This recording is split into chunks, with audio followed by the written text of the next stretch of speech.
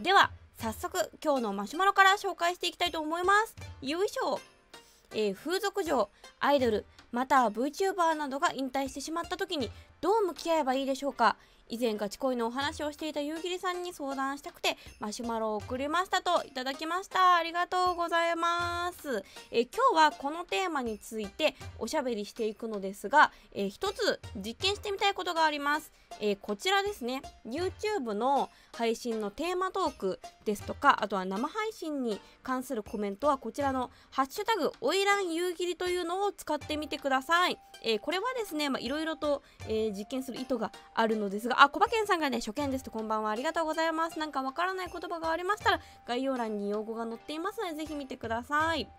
でえっとそう町のチャンネルってやっぱおゆかりの皆様ねあのそれぞれいろんなことをつぶやいてあつぶやいててかコメントをくださるんでそのみんな同士でもね気が合う人って絶対出てくると思うんですよ。でそういう場合にあのどんどんどんどん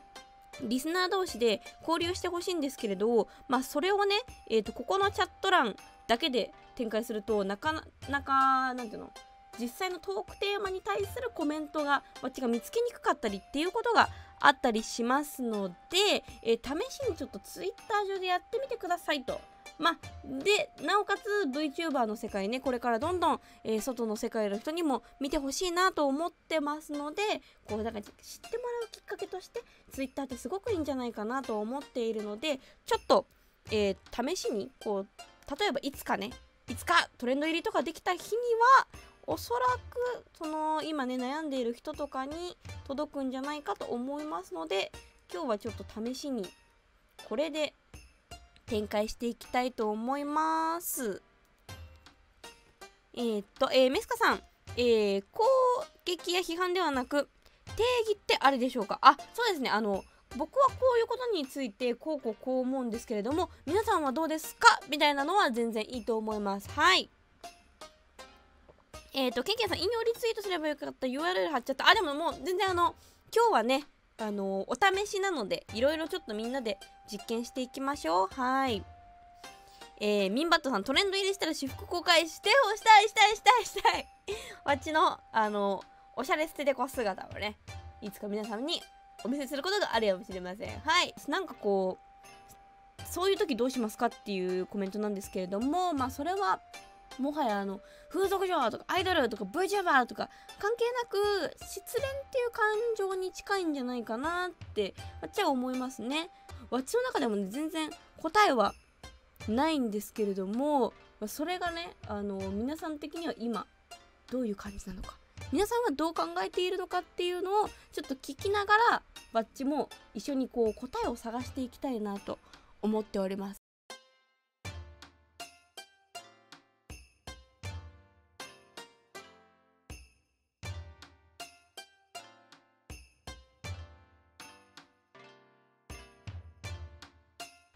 えー、鈴風さんは VTuber は配信者とファンのつながりがコンテンツを形作っていく。もし推しが引退してアーカイブやツイートも残さない場合僕はいつか推しのことを忘れるかもしれない。大好きな配信者がいたことたくさんのファンがいたことを互いに思い出せるような仕組みがあれば素敵だと思う。とこれめっちゃいいなって思うんです。これ超いいと思う。えみんないつか私のことを忘れるかもしれない。だから覚えている間だけでも時々私のことを思い出してくれると嬉しい。引退した VTuber が最後にこんな風なことを言っていて胸がギュッとなったのを覚えていますということですこれめっちゃいいと思いますね。まあそう。だから、まあ、こういうのもあってまあもちろんワッチもやれる限りずっとやりたいと思ってるけれどもワッチも命というものがあります。はい。ワッチはあの AI ではないのでねあの限りはもちろんあると思うんですよ。でもなんかそうなった時にやっぱなんだろうな。ワッチを通して出会った人たちがいる限りワッチはいられるなっ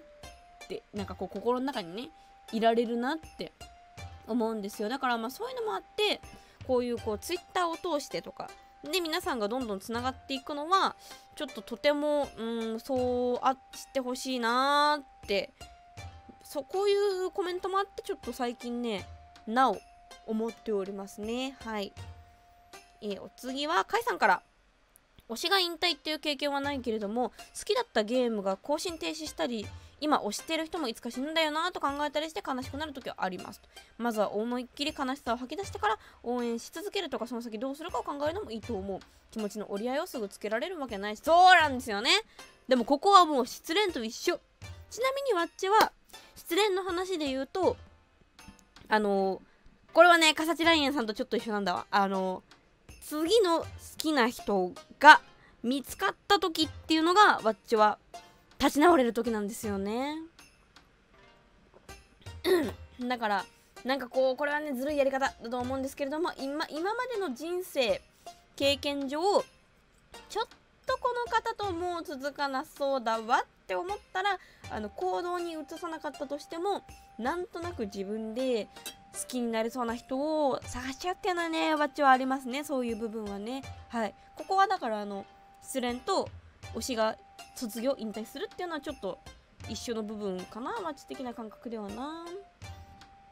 えー、ゆきしろさん。えー、今日は推しが引退したらがお題みたいですが私としてはまずお世話になった感謝を伝えたいですね。あ素敵。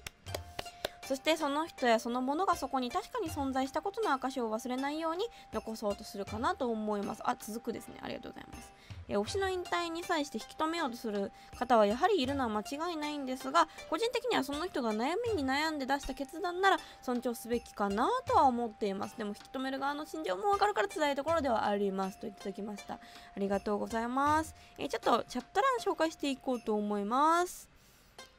えー、C の500さん引退するにしても辛くて引退はさせたくないな。そうだね。だから最近ねあの VTuber 界の中でもありますよね。あのセクハラが辛くてとかストーカーが辛くてとかそのなんかこう引退に対して辛さが伴うっていうのはすごく嫌だなって思っててだからバチさっきのね自分の意見にもちょっとつながるところなんですけれども引退します。いなくなりますってなった時に、まあ、最悪なパターンは相手の感情を無視してストーカーになっちゃう場合ですね。これはわっちはもうちょっともう一番いくないって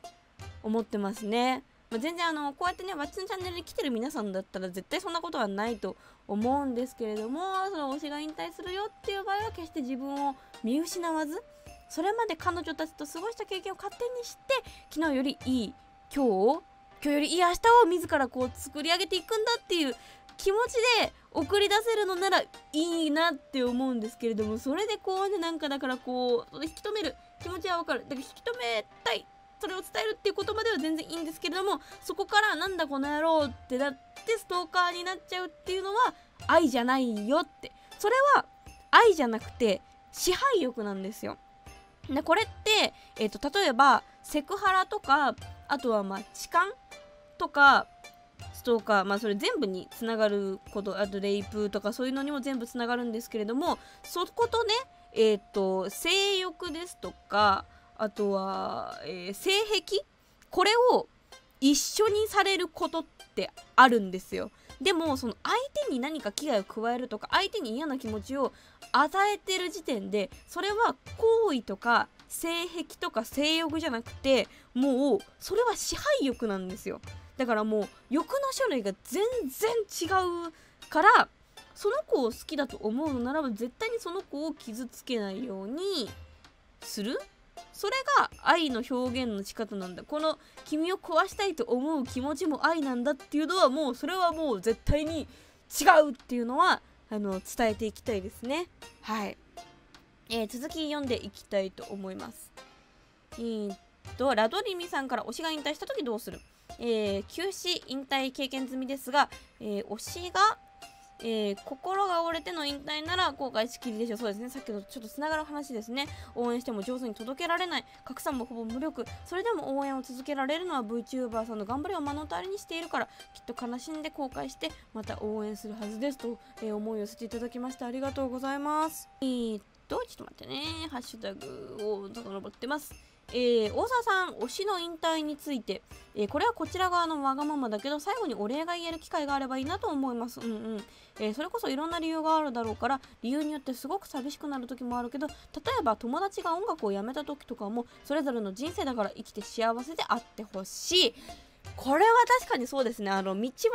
えどなんかこうそれぞれの幸せを祝福できる関係でいたいなって思いますこれはあの引退だけじゃなくてわっちの場合思うのは仲間の成功を喜べる人でありたいってすごく思うんですよ。うん、でやっぱりねあのいろいろな配信アプリとかも始まったりしてランキングとかももちろん今までよりももっと見えるようになったりとかあとはチャンネル登録者数とかも見えてくるし再生回数とかももちろんそれぞれに見えてくるけれどもその仲間がバズった時とか仲間がすごいいっぱい登録者数が増えた時とかに何て言うの？これちょっと話はそれるかもしれないんだけどもその人その人の幸せっていうのを素直に喜んで祝福できる人でありたいなってバッチは思って生きてます。はい。引き続き、ハッシュタグ紹介していきたいと思います。えー、チョコラテさん、推しの引退。円満引退ならそれで構わない。こちらも笑顔で送り出してあげたい。でもお別れもお礼も言えないまま突然さよならされるとかなりきつい。せめて最後にお別れは言いたい。そうそうですね。今じゃこのお別れ言いたいっていうのが結構続いてますね。なるほど、なるほど。これはもう VTuber 側が知っておくべき、えー、トークですね。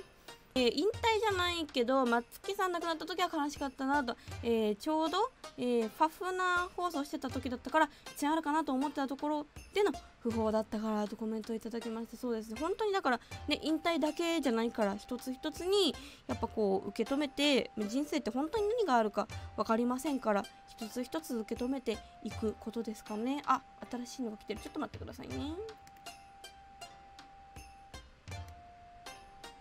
えー、ユングさん、幸せはいつも願ってる素敵と思います。えー、っと、レムレスさん、えー、推しの引退について、VTuber 界隈で言うなら相手名前は伏せますが某天様でしょうか、え今年の初めの頃人気急上昇の最中家庭の事情での突然の引退。え当時情報が混乱して騒ぎになりましたが今でもその方のファンアートが書かれていたり誕生日を言われていたりするのが嬉しく思います。と、まあ、だからこうやって引退してからもつながるのってやっぱその人がその活動中にどういう徳を積んできたかっていうところだと思うんでなんかうんきちんと一個一個ねやっぱ向き合っていきたいなって思いますね。うん。あきさんこんばんはありがとうございます、えー、今日はあと5分やります。はい。えー、っとここからじゃあ降りていきましょう。ごめんなさいね仕様の問題で。えー、バットさん最近僕が推していた VTuber さんが引退してしまいました。結構悲しかったです。ですがこれからはその方たちの VTuber としてではない今後の活動を応援したいとも同時に思いました、えー、僕の場合いくら追っている VTuber さんがいてもその人たちの穴埋めにはなりませんでしたからしばらく辛かったですといただきました。ありがとうございます。なんか本当にこうみんなのねいろんな投稿を見ているとなんかこうみんなでも向き合って乗り越えきってはいないかもしれないけれどもそれでもこう向き合って向き合って向き合ってそうやってみんなが生きているんだなっていうのをなんか分かったのが今日すごく良かったかなって思いますね。えー、カバンさん自分はこれまで推しや好きなキャラが引退したことはなかったし今もこれからも推しが引退するなんて想像できないと思いますただもし引退してしまったらその時は本気で泣いて悲しみまくって引退を見届けてそこから、えー、時間が経つごとにだんだん忘れていくと思いますとあ続くって書いてあるけどごめんちょっと続きが見つけられない。こっちの新しいやつかな？ちょっと待ってね。あなかった。えーとあじゃあこちら見ましょう。えー、知性怪獣さん、今回のテーマは推しの引退についてですが、できる限り引退後の人生を臨機応変に応援していきたいです。引退後もファンと触れ合いたい方や静かに暮らしたい方など様々だと思うので、とにかく幸せになってほしいですといただきましてありがとうございます。えー、っと、りんちゃん、推しの引退を最近体験しましたが、基本の基本だけど、普段からの感謝と、えー、適度なやり取りの距離感が大事だと思いましたと。ありがとうございます。えー、メスコさん、亡くなってしまった場合はすごく悩んで苦しんで思い出すたびに苦しみ続けたいですね。忘れたりしたくないです。うんうん。えー、自己満足でしかないのですが私が辛い思いをすることで私は納得ができるような気がします。そうですね。だからその人に合った向き合い方って多分あると思うんでこうやってねあの皆様がそれぞれの向き合い方を今つぶやいてくれてるんでよかったらいろいろ読んでね自分は何だったら合うかなっていうのをぜひあの感じていただければなと思いますあじゃあちょっとね、えっと、ちょっと待って、時間が迫ってきてしまってるんで、ちょっと映し出すっていう風にしますね。えー、ジャンクマンさんからもいただきました。ありがとうございます。えー、ペラドクタイムさんもありがとうございます。たつのりさん、えー、あとは、マルーン TN さん、えー、サイトを搭載した搭載さん、えー、腐れゾンビさん、あ、ありがとうございます。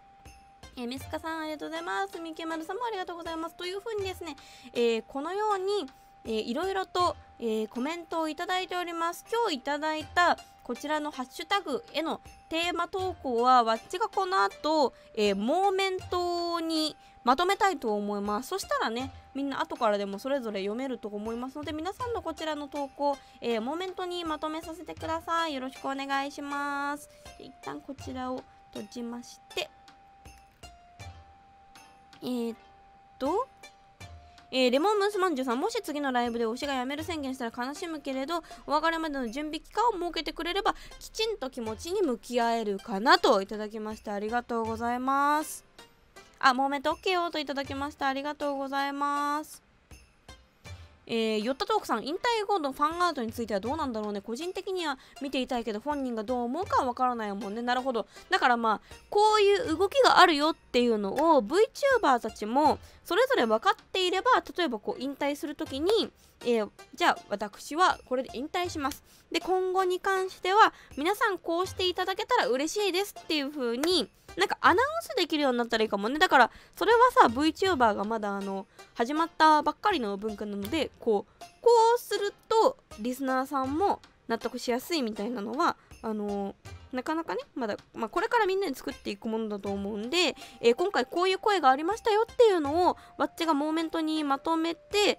伝えてそれがこうね誰かがまリツイートとかもしてくれるかもしれないしそうやっていろんな人に伝わることによってまた新しい VTuber の在り方とか活動の仕方っていうのをこれからみんなで考えていけたらなと思います。あモーメント OK ということでありがとうございます。じゃあ今日これでね配信は終わりますがこの後は違うモーメントにまとめたりとかそれをつぶやいたりいたしますのでもしねあのこれ推したちに届けという方はリツイートとか、まあ、今日はねあのエロの話じゃないんでリツイートもちょっとしやすいかなと思うので、えー、ぜひぜひみんなで共有してなんかこう新しい VTuber のあり方とかをこれからみんなで模索して考えていけたらいいなと思います。今日もねたくさんのコメントえチャットもハッシュタグもありがとうございました。こんな感じで、えー、わっちのチャンネルではこれからもっとたくさんの人と VTuber についてとか、えー、性について恋愛について推しについて考えていけるチャンネルにしていきたいと思っていますのでみんなこれからもよろしくお願いします、えー、明日のトークテーマや配信時間決まり次第また Twitter の方で案内しますので Twitter フォローしてないよという方は Twitter のフォローお願いします。また今日の配信を初めてね見てあの賛否両論あるとは思いますがちょっとでもまたこの別の配信？見てやってもいいぞという方はぜひチャンネル登録していただければなと思います。え今日はね、突然ハッシュタグの、えー、挑戦とかもあったのにみんなあの一緒にやってくれて本当にありがとうございました。じゃあ、また明日ねおやすみなさい。